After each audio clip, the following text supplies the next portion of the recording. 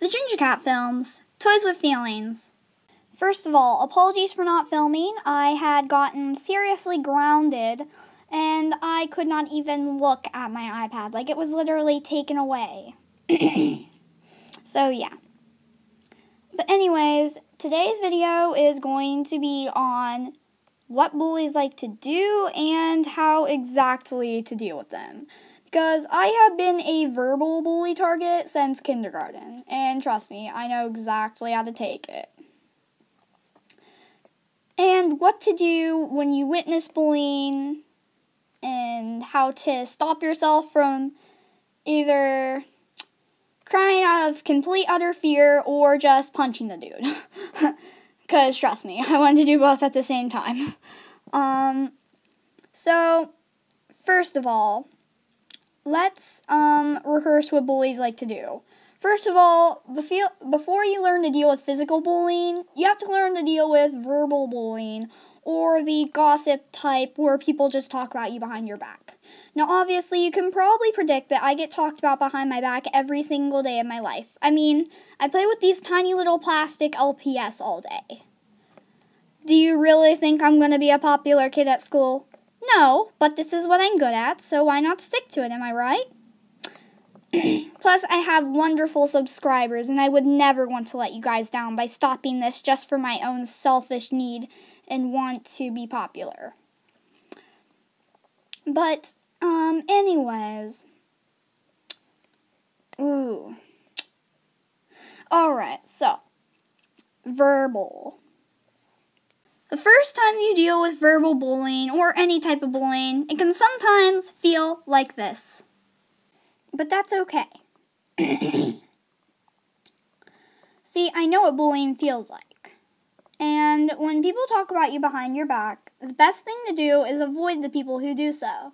Because more than likely, the people who talk about you behind your back don't want to say any, anything bad to your face. Why? I don't know, but that's just that type of bullying style. So, yeah, that's just the flow of the that's just the flow of things, I guess. But anyways, when that happens, you got to know what to do. And I say just avoid those people. And you know what? Down the road, you could just become friends with them because it's happened to me before. Not a lot, but it has.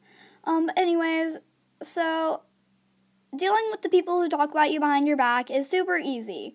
I know you may be mad, and I know you may just want to walk up to them or punch them or go cry in a pillow. But either A, those people are jealous, or B, they just hate you, and that's fine. Everybody's hated by somebody. I hate a lot of people who I'm actually friendly to. That's because I know what it feels like to be hated. So I don't like to tell the people I'm friendly to that I hate them. Because that's just, it's not right in my book. Because I know how it feels to be told to your face you're hated or to be told behind your back that you're hated. So, yeah. So, long story short, or in a nutshell, just ignore those people.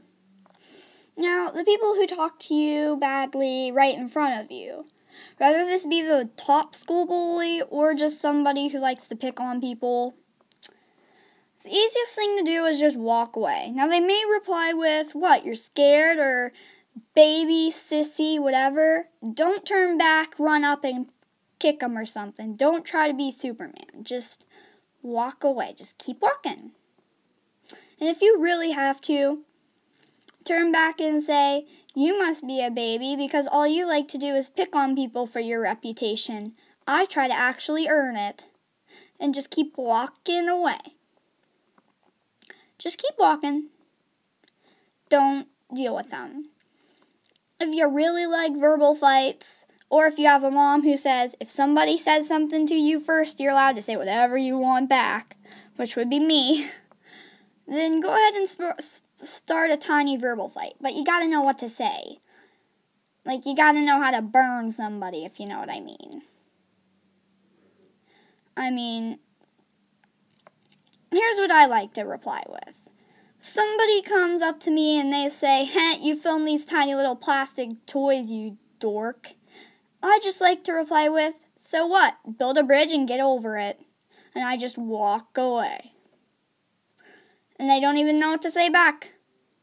Well, except this one kid, but he always has a comeback because he's like the like professional bully who knows like all the tips and tricks.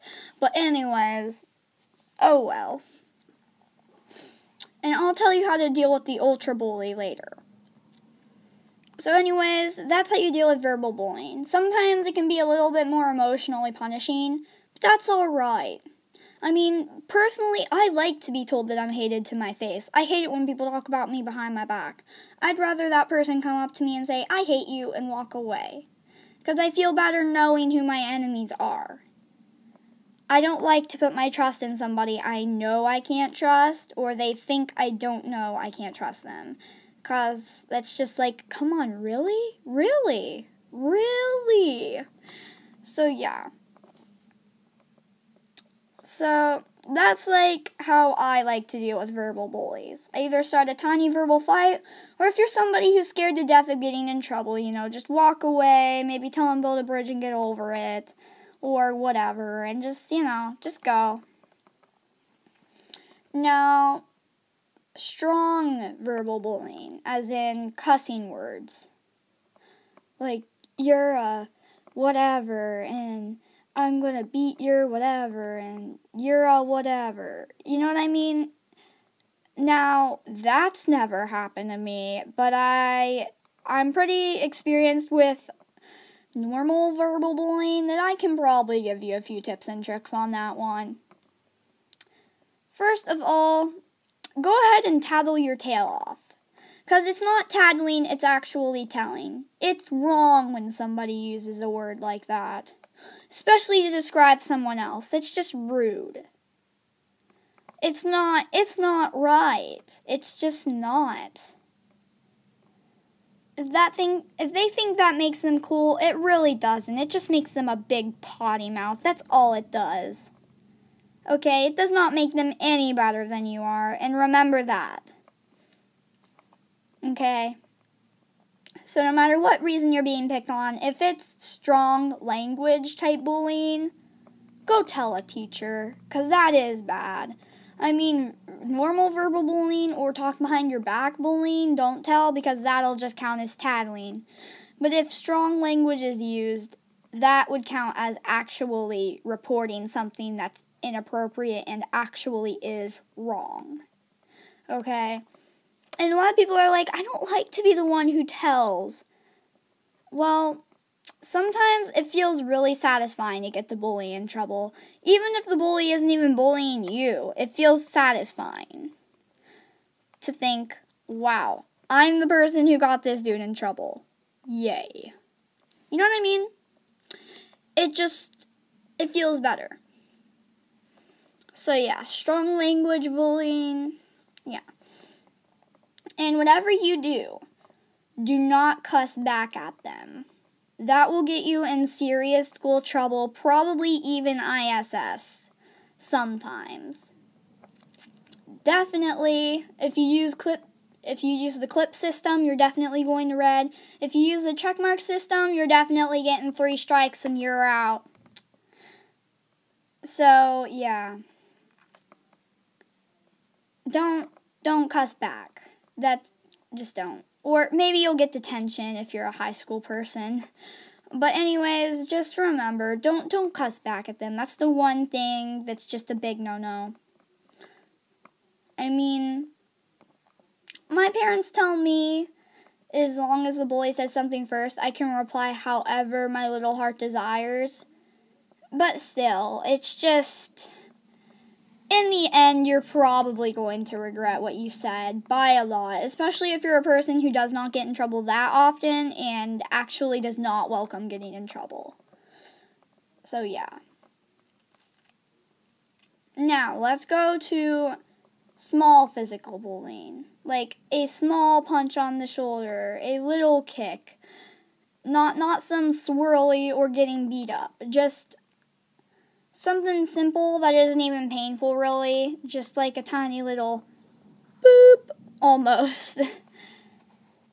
um, honestly, I wouldn't tattle on that. That could that would count as telling in a teacher's book, but in society's book, that would probably just be tattling. That's just, no, nah.